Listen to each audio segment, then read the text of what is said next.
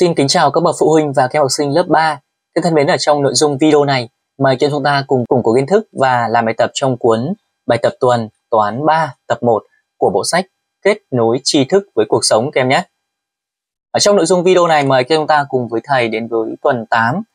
Đó là các kiến thức liên quan đến góc, góc vuông, góc không vuông, hình tam giác, hình tứ giác, hình chữ nhật, hình vuông Thực hành vẽ góc vuông, vẽ đường tròn, hình vuông, hình chữ nhật và vẽ trang trí ở tiết 1. Chúng ta cùng đến với phần A lớn đó là kiến thức trọng tâm. Kiến thức trọng tâm thứ nhất đó là về góc, góc vuông, góc không vuông. Về phần góc nhé thì các em cần nắm cho thầy này, góc thì chúng ta phải có gì? À, các em phải nắm được cho thầy là góc tạo bởi đỉnh nào và hai cạnh nào các em nhé. Đó, góc này. Các em phải trả lời cho thầy này nó tạo bởi đỉnh nào này? Nó đỉnh nào này? Và nó có hai cạnh nào này? Được chưa? Đó, các em phải trả lời cho thầy hai câu hỏi này. Đỉnh là gì này? Hai cạnh là gì? Em hiểu chưa? Ví dụ ở đây thầy có góc O, đỉnh O. Nó tạo bởi hai cạnh xuất phát từ đỉnh O, đó là cạnh OA và cạnh OB em hiểu chưa? Ở đây thầy có góc đỉnh P. Nó tạo bởi hai cạnh xuất phát từ đỉnh P đó là cạnh PM và cạnh PN. Thế còn ví dụ bên này chúng ta có góc đỉnh E tạo bởi cạnh EC và cạnh ED. Nhớ cho thầy là khi chúng ta gọi tên cạnh thì nó lúc nào nó cũng xuất phát từ đỉnh đúng không? Cạnh OA, cạnh OB với góc đỉnh O này. Góc đỉnh P là xuất phát từ đỉnh P này, cạnh PM, cạnh PN. Góc đỉnh E này xuất phát từ đỉnh E, chúng ta có cạnh EC và cạnh ED. Đấy chúng ta phải đọc theo thứ tự như vậy các em nhé. Tiếp theo đến vấn đề là góc vuông và góc không vuông. Để xác định cái góc chúng ta đang xét nó có phải góc vuông hay không thì chúng ta cần có đó là cái eke. Các bạn đã biết cái eke chưa nào? đây rồi, đây là chiếc eke. Ở chiếc eke có hình tam giác đúng không các em? Chúng ta thấy rằng có một góc vuông đây. Đấy, đây cái góc này thầy đang chỉ tay này. Đây, cái bút này, góc vuông này cách chúng ta xác định cái góc chúng ta đang xét là góc vuông hay không, thì chúng ta biết rằng cái góc ở trong cái eke này là góc vuông rồi, đúng không?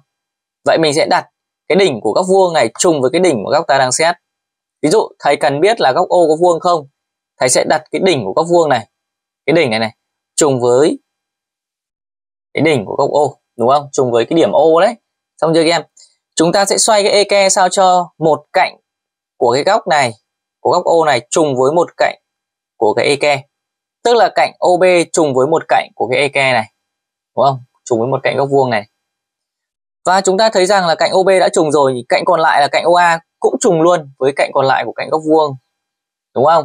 Cho nên là chúng ta thấy rằng đỉnh đã trùng nhau, hai cạnh cũng trùng nhau. Vậy thì cái góc chúng ta đang xét là góc vuông, em hiểu chưa?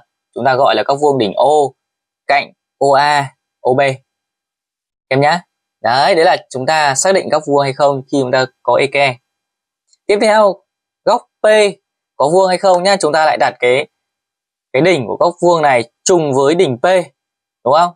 Mình sẽ xoay sao cho à cái cạnh, một cạnh của góc p này nó trùng với một cạnh của góc vuông, đúng không? Một cạnh góc vuông eke chúng ta thấy rằng một cạnh của góc đỉnh p này đó là cạnh pn đã trùng với một cạnh góc vuông của eke rồi. Đấy, nhưng cạnh còn lại là cạnh PM à, nó không trùng nó không trùng với cạnh còn lại của cái cạnh góc vuông EK này chứng tỏ là cái góc này không phải góc vuông hay chúng ta gọi là góc không vuông đỉnh P và cạnh PM và PN em hiểu chưa? Đấy đấy là chúng ta à, xác định được góc không vuông. Tương tự như vậy chúng ta đặt cái đỉnh của góc vuông EK trùng với đỉnh E và một cạnh đó là cạnh ED trùng với một cạnh góc vuông của EK nhưng cạnh còn lại là cạnh EC không trùng với cạnh còn lại của cạnh góc vuông EK chứng tỏ rằng cái góc E này cũng không phải là góc vuông, hay chúng ta gọi là góc không vuông đỉnh E cạnh ECED em nắm được chưa nào? Ừ.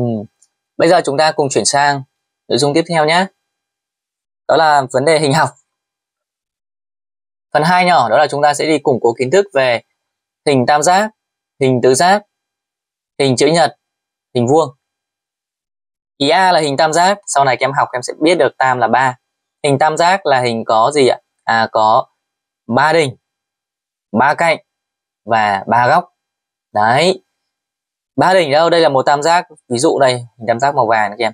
Hình tam giác chúng ta sẽ đọc như sau. Đây là hình tam giác ABC hình tam giác ABC chúng ta cứ đọc cạnh lần lượt. Và bây giờ chúng ta sẽ chỉ ra cho thầy đâu là đỉnh này đâu là cạnh này đâu là góc các em nhé. Nào tam giác ABC này chúng ta có ba đỉnh chính là đỉnh A đỉnh B đỉnh C thì mình sẽ viết là ba đỉnh A phẩy B phẩy C Xong chưa?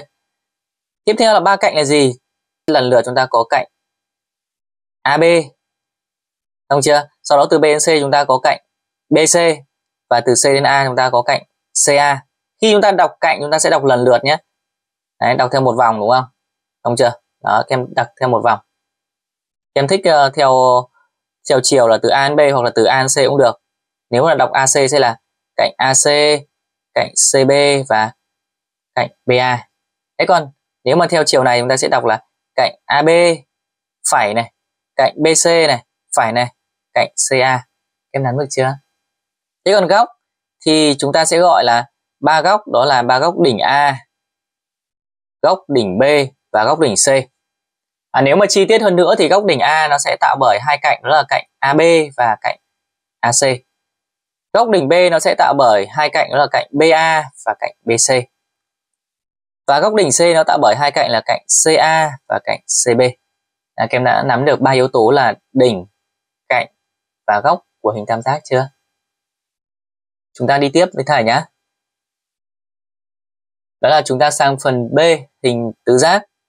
Hình tứ giác là hình có bốn đỉnh, bốn cạnh và bốn góc. Để sau này các em học lớp cao hơn các em sẽ biết tứ là bốn nhé. Không chưa nào? Ở trong cuộc sống em cũng ờ, bắt gặp rồi. À, tam là 3 tứ là 4 được chưa nào? Với hình tứ giác có bốn đỉnh bốn cạnh bốn góc. Ở đây ví dụ chúng ta có hình tứ giác MNPQ đây chúng ta đọc lần lượt đúng không? MNPQ chúng ta sẽ chỉ ra thầy bốn đỉnh chính là đỉnh M, đỉnh N, đỉnh P, đỉnh Q. Chúng ta sẽ viết là M, phẩy, N, phẩy, P, phẩy, Q. Đúng chưa? Bốn cạnh là gì? Chúng ta sẽ đọc lần lượt nha. M đến n, chúng ta sẽ có cạnh mn cứ nối hai điểm ta được một cạnh. Em hiểu chưa? Đó, cạnh mn này. Đúng chưa? Phải này. Từ n đến p chúng ta có cạnh np này. Đúng chưa? Phải này. Từ p đến q chúng ta có cạnh pq này phải này từ QM chúng ta có cạnh qm đó các em cứ đọc lần lượt nhé Đấy, đọc theo vòng em nhớ chưa đọc theo vòng lần lượt lần lượt chứ không được đọc uh, lộn xộn em nhớ chưa Bốn góc của chúng ta chúng ta sẽ có góc đỉnh M tạo bởi cạnh MQ và cạnh MN. Góc đỉnh N tạo bởi cạnh NM và cạnh NP. Góc đỉnh P tạo bởi cạnh PN và cạnh PQ. Góc đỉnh Q tạo bởi cạnh QM và cạnh QP. Để chúng ta có thể viết ngắn gọn là bốn góc đỉnh P, góc đỉnh N, góc đỉnh P và góc đỉnh Q. Đấy là về phần hình tứ giác các em ạ. Mời các em chúng ta cùng với thầy đến với nội dung tiếp theo trong phần hai nhỏ đó là mục C, hình chữ nhật. Hình chữ nhật cũng chính là một hình tứ giác các em ạ, nó cũng có bốn đỉnh, bốn góc và bốn cạnh các em nhé. Hình chữ nhật cũng có bốn đỉnh, bốn góc và bốn cạnh. Thế nhưng hình chữ nhật nó đặc biệt ở chỗ đó là bốn góc của trong hình chữ nhật đều là các góc vuông. Tức là hình chữ nhật của chúng ta sẽ có bốn góc vuông. Chúng ta có thể dùng cái eke chúng ta kiểm chứng nhé. Ở đây là hình chữ nhật ví dụ này. Chúng ta thấy hình chữ nhật đọc là A, B, C, D đấy. À, chúng ta đo góc A nhé. Thấy rằng là đỉnh góc A trùng với đỉnh góc vuông này, hai cạnh tạo bởi góc A đó là cạnh AD và cạnh AB trùng với hai cạnh của góc vuông của eke rồi. Cho nên là góc A vuông nhé. Tương tự như vậy với góc B thì đỉnh góc B trùng với đỉnh góc vuông rồi đúng không các em? Hai cạnh tạo bởi góc đỉnh B đó là cạnh BA và cạnh BC cũng trùng với hai cạnh của cái góc vuông EK này. Cho nên là góc B cũng là góc vuông. Tương tự với góc đỉnh C cũng như vậy. Đỉnh C trùng với đỉnh góc vuông này.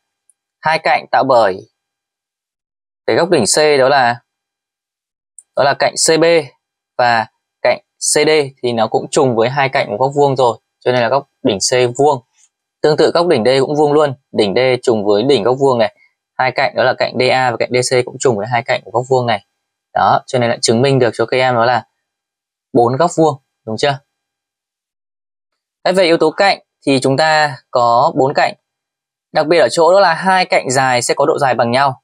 đấy hai cạnh dài đó là cụ thể là cạnh dài là cạnh AB chúng ta nhìn thấy ờ, rõ ràng là AB dài hơn đúng không đấy, AB dài hơn ở đây. Cạnh AB sẽ bằng à, cạnh DC bởi vì hai cạnh dài có độ dài bằng nhau. Cạnh AB sẽ bằng cạnh DC à, các em có thể dùng thước kem đo các em thể thấy ngay. Đấy dùng thước kem đo các em kiểm chứng luôn. Đây chẳng hạn. Ví dụ như ở đây chúng ta dùng thước chúng ta đo là cái cạnh AB có độ dài là 5 cm với nửa cm nữa đúng không? Cạnh DC cũng vậy luôn. Nó dài bằng 5 cm và thêm nửa cm nữa. Đấy, chúng ta có thể kiểm chứng được, đúng không? Và tiếp đến là hai cạnh ngắn cũng có độ dài bằng nhau. Cạnh ngắn BC sẽ bằng độ dài của cạnh ngắn AD em nhớ chưa? Ok nhé bây giờ chúng ta sẽ đi mô tả rõ hơn về cái ví dụ của hình chữ nhật ABCD này. Hình chữ nhật ABCD có gì? Có bốn đỉnh, sẽ là đỉnh A phẩy này, đỉnh B này phẩy này, đỉnh C này phẩy này, đỉnh D này, đấy. A phẩy B phẩy C phẩy D. Có bốn cạnh, đó chính là chúng ta đọc lần lượt nhé A đến B chúng ta có cạnh AB rồi từ B đến C chúng ta có cạnh BC cạnh CD và cạnh DA hãy đọc theo một vòng em nhớ chưa? Đó. Cạnh AB phải này BC phải này CD này, phải này DA có bốn góc vuông đó là góc vuông đỉnh A, góc vuông đỉnh B, góc vuông đỉnh C và góc vuông đỉnh D. Em nhớ chưa? Chúng ta đã vừa dùng eke chúng ta đo rồi. Và tiếp theo đó là vấn đề độ dài cạnh. Thì hai cạnh dài đó là cạnh AB và cạnh DC đó là hai cạnh dài. Sẽ có độ dài bằng nhau. Mình sẽ viết là AB bằng DC khi viết AD bằng BC trong những bài tập thì chúng ta sẽ ngầm hiểu trong đầu chính là độ dài của cạnh AB bằng độ dài của cạnh DC em nhớ chưa? Và với hai cạnh ngắn cũng tương tự như vậy. Chúng ta có cạnh ngắn AD và cạnh ngắn BC chúng sẽ có độ dài bằng nhau. Và mình sẽ viết là AD bằng BC khi gặp những bài tập, chúng ta thấy ký hiệu là AD bằng BC tức là mình sẽ ngầm hiểu trong đầu là độ dài của cái đoạn AD bằng với độ dài của đoạn BC. Em nhớ nhé. Chúng ta cùng đến với nội dung tiếp theo. Đó là mục D, hình vuông. Hình vuông thì nó là một hình tứ giác cũng có bốn đỉnh, bốn cạnh và bốn góc. Nó đặc biệt ở chỗ đó là bốn góc này cũng là bốn góc vuông. À có vẻ giống như hình chữ nhật đúng không? Ừ. Cũng là bốn góc vuông, giống hệt như hình chữ nhật rồi nhưng nó khác ở chỗ là có bốn cạnh nhưng bốn cạnh này có độ dài bằng nhau Đấy, không có cạnh nào dài hơn không có cạnh nào ngắn hơn cả em nhớ chưa bốn cạnh này đều có độ dài bằng nhau. Thì nó được gọi là hình vuông. Bốn góc vuông này và bốn cạnh có độ dài bằng nhau thì được gọi là hình vuông em nhớ nhá. Đấy, các em có thể dùng eke em đo các góc vuông và dùng thước để đo các độ dài đoạn thẳng. Em nhớ chưa? Giống như lúc nãy chúng ta vừa mới đo ở trong hình chữ nhật. Chúng ta mô tả rõ hơn về hình vuông ở trên hình. Đó là hình vuông MNPQ có bốn đỉnh đó là đỉnh M đỉnh N đỉnh P và đỉnh Q. Mình sẽ viết là bốn đỉnh là hai chấm này M này phải này N này phải này P này phải này Q này chấm này. Và bốn góc vuông đó chính là góc vuông đỉnh M góc vuông đỉnh N góc vuông đỉnh P và góc vuông đỉnh Q. Xong chưa kia? Bốn cạnh bốn cạnh đó là cạnh MN, cạnh NP, cạnh PQ và cạnh QM. Bốn cạnh này nhớ cho thầy là có độ dài bằng nhau. Em hiểu chưa? Như vậy để phân biệt giữa hình vuông và hình chữ nhật thì chúng ta phải à, xem rằng là độ dài các cạnh có bằng nhau hay không, đúng không? Nếu mà hình có bốn góc vuông và bốn cạnh đều bằng nhau thì đó được gọi là hình vuông. Nếu mà hình có bốn góc vuông mà có cạnh dài, cạnh ngắn thì đó là hình chữ nhật à, các em đã phân biệt được chưa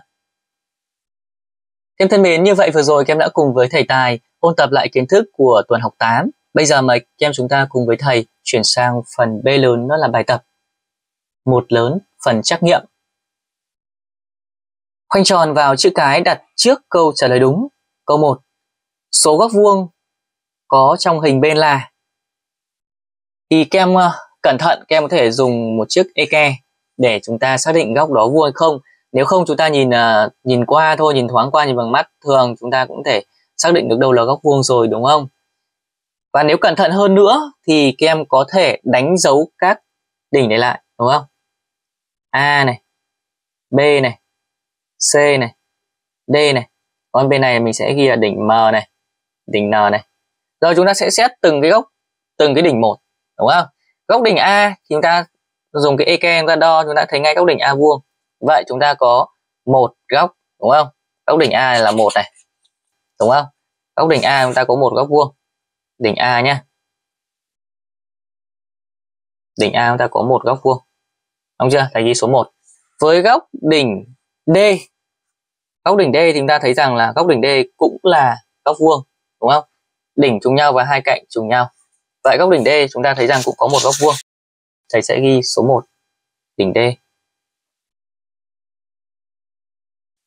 tương tự chúng ta đến với các góc các đỉnh khác đó là góc đỉnh B chẳng hạn. Góc đỉnh B thì chúng ta sẽ thấy là có hai góc đúng không? Góc đỉnh B ở phía bên uh, trái các em nhìn thấy màu xanh chưa? Bên phải là màu vàng chưa? Nào góc đỉnh B nào. Tạo bởi cạnh BA và cạnh BC thì chúng ta thấy rằng góc này cũng là góc vuông. Vậy chúng ta sẽ có góc đỉnh B này vuông. Góc đỉnh B bên uh, phải nào. Góc đỉnh B bên màu vàng nào. Tạo bởi cạnh BM và cạnh BC chúng ta thấy rằng góc đỉnh B cũng vuông. Như vậy, từ góc đỉnh B chúng ta sẽ có à hai góc vuông, đúng không? Từ đỉnh B này, chúng ta sẽ thấy rằng có hai góc vuông. Tương tự như vậy, đối với góc đỉnh C chúng ta sẽ có hai góc vuông, đúng không? Đấy, góc vuông C ở bên màu xanh, góc vuông C ở bên màu vàng. Vậy thì với đỉnh C chúng ta sẽ có hai góc vuông. Thế còn lại góc ờ, đỉnh M và góc đỉnh N chắc chắn không phải là góc vuông rồi. Chúng ta nhìn thấy à, chúng ta có thể dùng eke chúng ta đo. Đỉnh trùng nhau, một cạnh trùng nhau nhưng cạnh còn lại của góc đỉnh M này nó không trùng với cạnh của góc eke đúng không? À, tiếp theo với góc đỉnh N. Đỉnh N trùng với đỉnh góc vuông, cạnh một cạnh trùng nhưng cạnh còn lại nó không trùng với cạnh còn lại của cạnh góc vuông đúng không? Cho nên là góc đỉnh N cũng không phải là góc vuông. Như vậy chúng ta sẽ đi tổng kết lại có tất cả bao nhiêu góc vuông ở trong hình trên nhé. Với đỉnh A có 1 này, đỉnh D có 1, đỉnh B có 2, đỉnh C có 2 chúng ta cộng lại 1 cộng 1 bằng 2, 2 cộng 2 bằng 4, 4 cộng 2 bằng 6. Như vậy thì chúng ta có tất cả là 6 góc vuông. Chúng ta chọn đáp án C. Tiếp tục với câu 2 các em nhé. Đề bài như sau. Số góc không vuông có trong hình bên là nhớ đề bài hỏi các em là số góc không vuông. Vậy thì việc bây giờ thì thầy cũng sẽ đi đánh đỉnh của cái hình bên này cho nó dễ xác định đỉnh A này. Đỉnh B này. Đây là đỉnh C đây chẳng hạn. Và đây là đỉnh D. Đấy tùy ý các em đánh dấu đỉnh thôi đúng chưa? À, bây giờ chúng ta sẽ xét các đỉnh à, đơn giản thì thầy sẽ xét đỉnh A với lại đỉnh D. Thì chúng ta thấy rằng nó chỉ tạo được một góc thôi đúng không? Bây giờ thầy sẽ xét đỉnh A trước nhá. Đỉnh A này. Đỉnh A chúng ta xem cái góc này phải góc khung vuông không?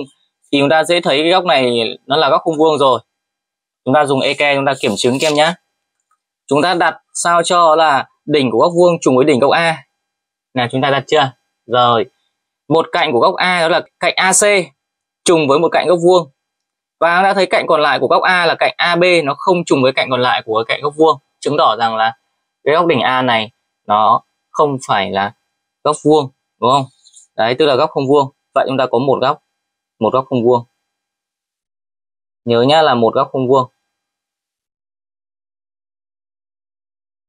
Rồi, bây giờ thầy cho mình chuyển sang đỉnh D. Với đỉnh D chúng ta cũng thấy rằng nó chỉ có một góc thôi, góc màu vàng này kia. Bây giờ chúng ta lại dùng cái eke mình đo. Chúng ta đặt sao cho cái đỉnh góc vuông trùng với đỉnh D, đúng chưa nào? Một cạnh của góc D là cạnh DC trùng với một cạnh của cạnh góc vuông chúng ta thấy rằng là cạnh còn lại của góc D là cạnh DB nó không trùng với cạnh còn lại của cạnh góc vuông. Cho nên chứng tỏ là cái góc D này chúng ta là không vuông, đúng không? Ở đây chúng ta có một góc không vuông. Bây giờ thầy ghi số 1 nhá. Tương tự như vậy, chúng ta chuyển sang các góc đỉnh à, đỉnh C và đỉnh B nào. Nào, góc đỉnh à, đỉnh C nhá. Rồi, góc đỉnh C chúng ta sẽ thấy là nó có mấy góc em nhỉ? Nhìn kỹ nhá. Nó có ba góc đây em ạ. Đó, góc đỉnh C màu vàng này góc đỉnh C màu xanh này và góc đỉnh C lớn, gồm có tạo bởi là màu xanh và màu vàng. Đúng không? Đấy, thầy nói như vậy thì lát nữa chúng ta chỉ ra cái cạnh là gì nhá. Nào, thứ nhất là góc đỉnh C màu vàng thì nó tạo bởi cạnh CB và cạnh CD đúng không? Chúng ta cũng thấy ngay. Khi chúng ta đặt cái eke chúng ta thấy ngay là đỉnh trùng nhau rồi. Một cạnh trùng nhau rồi, nhưng cạnh còn lại của cái góc đỉnh C này là cạnh CB nó không trùng với cạnh còn lại, cạnh góc vuông. Chứng tỏ rằng cái góc màu vàng này của chúng ta là không vuông chúng ta có một góc nha tiếp theo, góc đỉnh C màu xanh này. Góc đỉnh C màu xanh này. Nó tạo bởi là cạnh CB và cạnh CA đặt đỉnh góc vuông trùng với đỉnh góc C. Một cạnh của góc C là cạnh CB trùng với một cạnh của cái eke cạnh còn lại của góc C là cạnh CA nó không trùng với cạnh còn lại của cái cạnh góc vuông, đúng không? Cho nên là chứng tỏ là góc đỉnh C này cũng không vuông.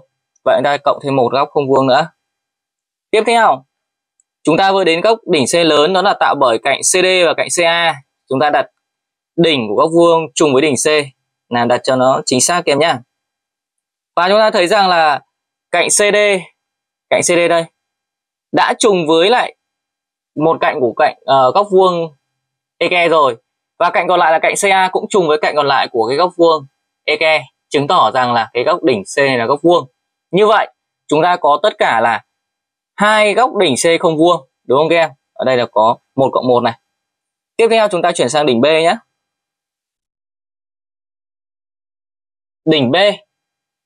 Chúng ta cũng làm tương tự như vậy. Đỉnh B thì có ba góc, đó là góc màu vàng này, góc màu xanh này và góc lớn tạo bởi là màu xanh và màu vàng này, đúng không? Chúng ta xét màu cách góc màu vàng nhé em đặt cho kỹ này. Đó là đặt đỉnh góc vuông trùng với đỉnh góc B đúng chưa? Một cạnh của cái góc B này, trùng với cạnh của góc vuông, thầy lấy cái cạnh à, BD đi, trùng với lại cạnh của cái góc B. Đây, cạnh BD đã trùng rồi. Đó, nhưng các em đặt thật chính xác nhé, thì chúng ta sẽ thấy rằng là cái cạnh còn lại là cạnh BC nó không trùng với cạnh còn lại của cái cạnh góc vuông này. Đúng không? Đấy, các em đặt cho thật kỹ, bởi vì góc này chúng ta nhìn thoáng qua rất dễ nhầm nó là góc vuông. Nhưng thực chất ra khi chúng ta đặt đặt chuẩn ấy, thì góc đỉnh B, tạo bởi cạnh BD và cạnh BC này không phải là góc vuông. Chúng ta thấy rằng đỉnh trùng nhau rồi, đúng không? Đỉnh góc vuông trùng đỉnh góc B này. Một cạnh của góc đỉnh B đó là cạnh BD đã trùng với cạnh EK rồi, nhưng cạnh còn lại là cạnh BC nó không trùng với cạnh còn lại của cạnh góc vuông EK chứng tỏ là chúng ta có cái góc B màu vàng này là góc không vuông. Chúng ta ghi số 1 này, một góc này. Cộng với gì nữa không nhá? Thấy ngay là cái góc màu xanh này cũng không vuông rồi chúng ta đặt cái EK này, đặt đỉnh của góc vuông trùng đỉnh B này. Một cạnh của góc đỉnh B là cạnh BC nó trùng với cạnh góc vuông này. Nhưng cạnh còn lại là cạnh BA nó không trùng với cạnh còn lại của cạnh góc vuông EK chứng tỏ là cái góc B màu xanh này cũng không phải góc vuông, cộng thêm một góc nữa. Và các góc B lớn này, tạo bởi cạnh BA và cạnh BD chúng ta cũng dễ thấy ngay là góc này không vuông đặt đỉnh góc vuông trùng với đỉnh B. Một cạnh của góc đỉnh B là cạnh BA đã trùng với cạnh của góc vuông rồi. Cạnh còn lại là cạnh BD nó không trùng với cạnh của cái góc vuông EK chứng tỏ rằng cái góc B lớn này tạo bởi cạnh BA và cạnh BD không phải góc vuông, tức là người ta cộng thêm một góc không vuông nữa. Như vậy là xong tất cả các đỉnh rồi, bốn đỉnh chúng ta đã xét hết rồi. Chúng ta có tất cả bao nhiêu góc không vuông các em? Một này, cộng một là hai này, cộng một là ba này, cộng một là bốn này, cộng một là năm này có một là sáu này, có một là bảy này. Có 7 góc không vuông. Đó, có 7 góc không vuông. Chúng ta chọn cho thầy đáp án là D các em nhé. Mời các em chúng ta cùng đến với câu 3 của phần trắc nghiệm tuần 8 nào. Trong các hình dưới đây, hình chữ nhật là, chúng ta dễ thấy rồi, đó chính là hình màu xanh dương này, đúng không các em? Đáp án A. Chúng ta thấy rằng là có bốn góc vuông này và có cạnh dài, cạnh ngắn, chắc chắn là hình chữ nhật rồi. Các em có thể dùng cái ke chúng ta kiểm chứng từng góc, đúng không? Bốn góc là bốn góc vuông rồi. Đấy, chúng ta đặt cái eke ra thấy ngay, góc vuông đúng không? Đó, em đặt cái eke ra thấy ngay là có bốn góc vuông rồi, chắc chắn. Hình tứ giác mà có bốn góc vuông và có cạnh dài, cạnh ngắn thì đấy là hình chữ nhật các bạn. Ở phần kiến thức chúng ta đã ôn lại rồi. Câu 3 đáp án A. Câu 4 hình bên có à đề bài muốn hỏi chúng ta là có bao nhiêu hình tứ giác? Thì tứ giác em nhớ cho thầy nhá, cứ có à, bốn cạnh bốn đỉnh bốn góc là hình tứ giác vậy chúng ta sẽ đánh dấu thầy các mảnh ghép đây là hình 1 này hình 2 hình 3 hình 1 là một hình tứ giác là với một mảnh ghép nhá các em nhá chúng ta sẽ tư duy như thế này với một mảnh ghép